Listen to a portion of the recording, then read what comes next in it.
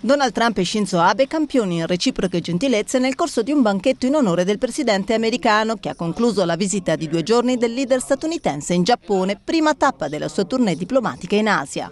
Una visita dominata dalle tensioni con la Corea del Nord e dagli scambi commerciali tra i due paesi. Abe. Ieri la diplomazia del golf tra Donald e me ha attirato talmente l'attenzione che abbiamo reso pubblico tutto, eccetto i punti della partita. Credo che abbiamo mostrato al mondo quanto sia forte l'alleanza tra Giappone e Stati Uniti.